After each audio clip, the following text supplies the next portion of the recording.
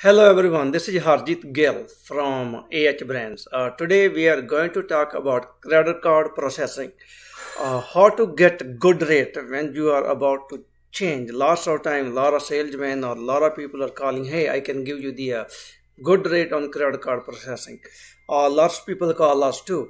Uh, the question is, do you know that how much you are paying right now? Lots of people uh, call us hey give me a good rate. When i ask him or her how much you are paying now they don't know. They tell me you give me your rate. So when once i tell them hey i give you interchange plus this and they don't know what's the interchange is. More majority of retailer they don't know how to read their current merchant statement. Maybe you are already have good rate you don't need to change it so I will go by one by one statement. Uh, then you you can learn how you can read your statement. Today we will talk about the first data. So I will show you on screen if you are if you have first data uh, merchant processing and you can read and you can learn how much you are paying right now. So if you like this video, uh, you can share to the uh, other people. It is about 8 minute video so please watch all the way uh, through. And if you like it if if you think you are not you are paying high rate you can call us and we can give you good rate on merchant processing. Uh, once again uh, our phone number 209 i don't want to speak too much. Uh, let's go to this statement. Today we are going to talk about first data. On next video we will talk about the uh, Heartland, Elavon and other one. Uh, let's look on your screen uh, how your statement look like and you can see how much you are paying for it. You always want to see if you are paying the interchange pass through plus how much sales rep is going to charge you. So this is the way uh, interchange mean wholesale rate how much he's going to charge you above the wholesale rate. So let's look this statement, how much this guy is paying for it. Uh, it is about a, uh, like I say, 8 minute video. I'm going to start it right now. We will be back after this video again.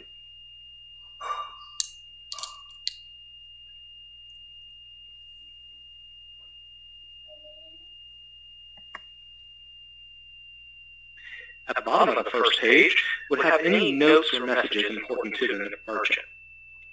This could include network fee changes, new industry rules and regulations, and potentially any upcoming merchant rate or fee changes. Page 2 includes some processing terminology for the merchant. And page 3 starts with a processing summary. This shows the merchant's volume and number of transactions separated out by card brand. Below that is funding information. This will show the volume deposited into the merchant's bank account and any fees that were pulled as well.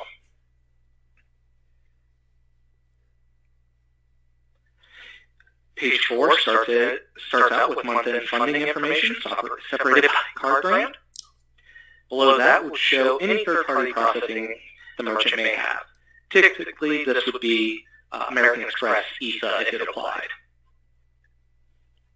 That's followed by any chargeback information, and it can be important to look at this information to see if there is a common theme for chargebacks, and potentially for any savings or best practices that the merchant can start on. The bottom half of page 4 starts the fees charged section. This will list the details of all the merchant's charges. This information continues onto page 5. At the bottom of page 5, it has the interchange charges section, which continues all the way onto the end of the statement.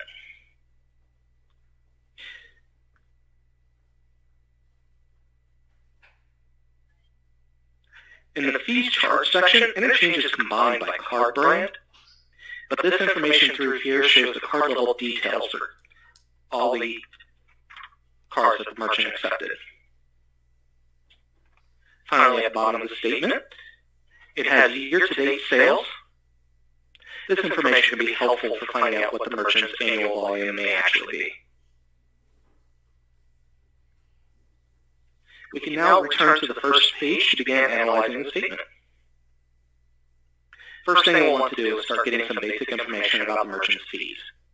This first page has the merchant's volume and fees charged, and we can use this to get the merchant's effective rate. If we take the 4114.31 and divide it by their total volume, we'll find that their effective rate is about 2.31%. We can now go on to page 3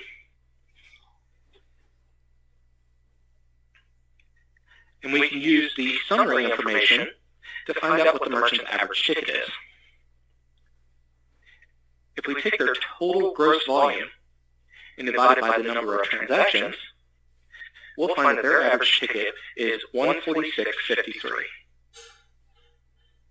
We can now continue on to page 4 to start looking at their actual fees.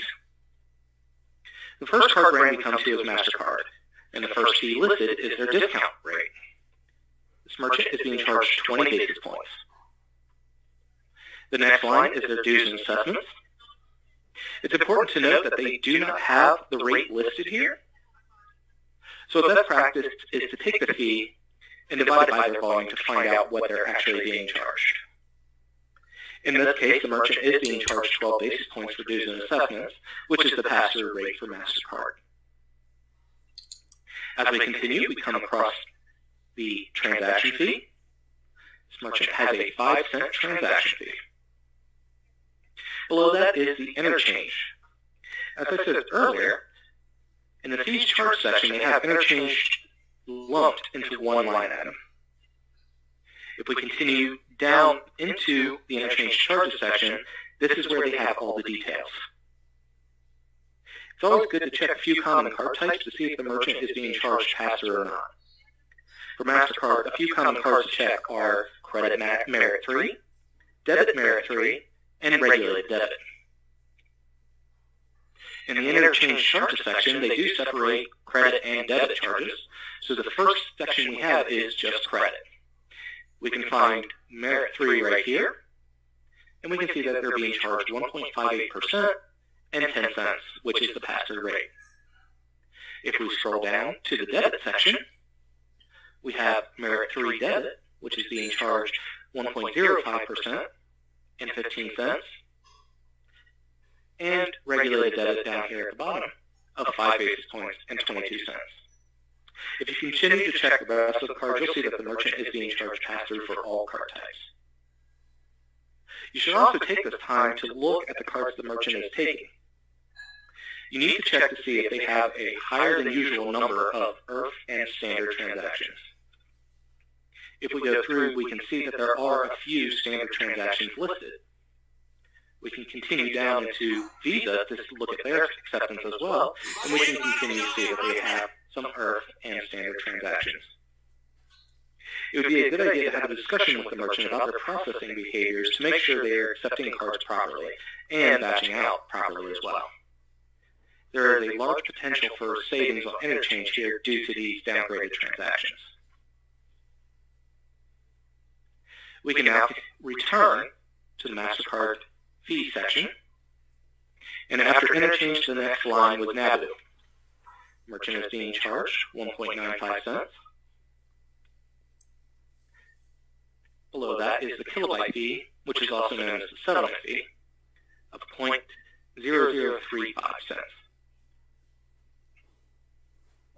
If we continue on to the statement, we come across the MasterCard, or excuse me, the American Express fees. First one is the American Express discount rate of 70 basis points. It is not uncommon for Amex to have different rates than Visa, Master, and Discover. So you should always check to make sure that they are the same, or if not, what they are. If we continue, we'll come across the American Express transaction fee, followed by interchange, which is listed similarly to MasterCard, and then the American Express network fee, which is their version of dues and assessments. You can continue on the statement checking the Visa and Discover fees, which are listed similarly to what we just went over with MasterCard and American Express. We can see that all the network fees are being charged at pass-through. At the end of this general section, we have the total card fees, which would be the sum of all the network fees, the discount rate, and transaction fees. Finally, at the bottom, we would have any ancillary fees that the merchant is being charged. In this case, they're only getting a compliance fee. We'll have a, a grand total of all the charges, and this will match with their fees charged up here. This would conclude breaking down gravity or first data statement.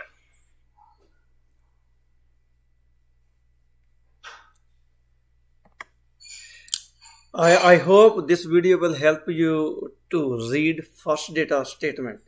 So if you are thinking you are paying a too much rates on your from your current processor, uh, you always uh, can call us 209 uh, 890-8006 or you can send us the email uh, info at uh, ahbrand.net or you can log into our website uh, www.ahwholesale.com uh, just click on the merchant processing or contact us. Uh, that's all for today. Today if you like my video uh, please uh, share to the other people. Thank you and you have a nice day